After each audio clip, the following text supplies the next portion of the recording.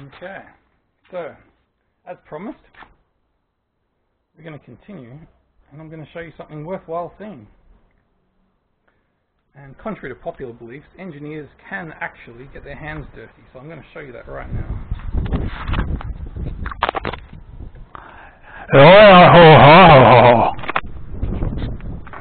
Okay, critical element done.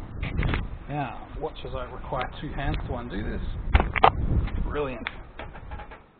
Okay. Nothing like a piece of impromptu genius. So,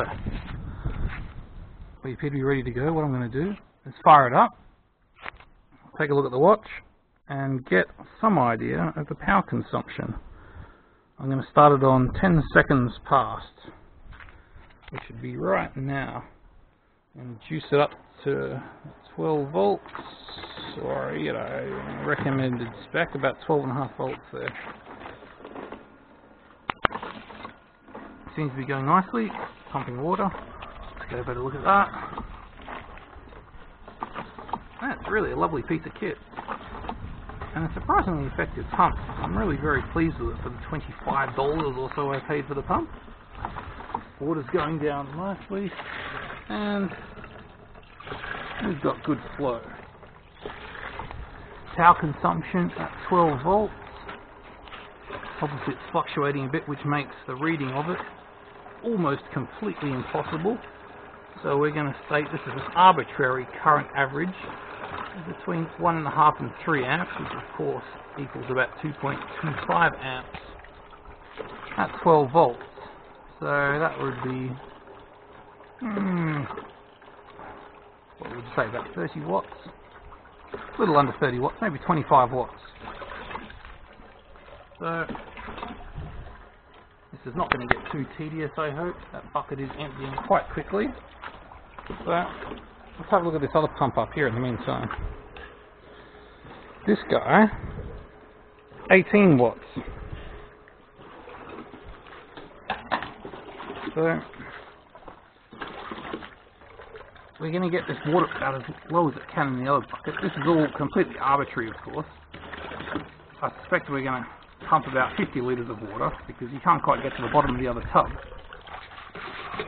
And that'll be the case for all the pumps actually, so that's probably about right. Um, so I'm going to say all the measurements are going to be within 20 or 30%. Um, so yeah, not particularly accurate. And as we come up to 55 seconds, 8, looking pretty good. So, and the reason why it doesn't matter that it's only about 30% off on the accuracy is because, as I said, I expect the other pump to be quite obviously more efficient. Um, hopefully as much as 10 times.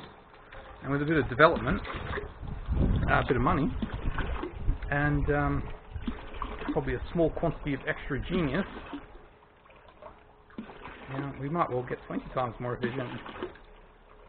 Uh, it's probably best not to mention that at this point, because obviously then it will become very obvious that this pump should probably replace even the current pendulum pumps that are in operation pumping oil around the state. You've probably seen them with tumbleweeds flying across in front of them.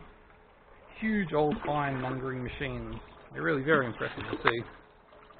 Um, but the one I'm talking about will be even better. There we go, two minutes. And we've pumped, I'll probably say about half the water. A little over half the water.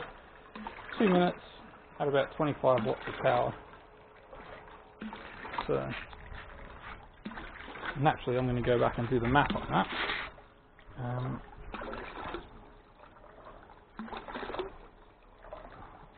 at least I'm going to do the arithmetic with 100% accuracy. There's no point getting that off as well.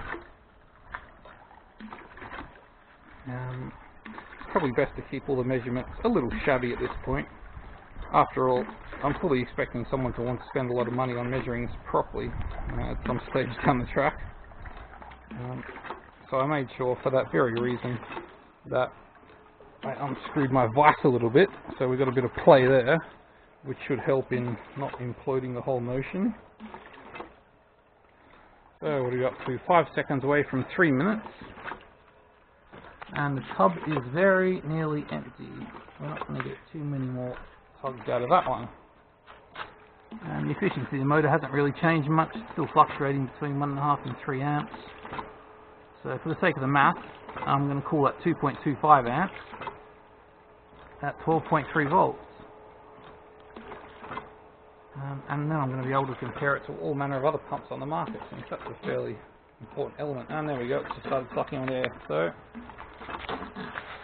going to juice this down, turn it off, swap my buckets around, and now try a small conventional electric pump. And I'll let you know shortly how they compare. Fun, fun, fun.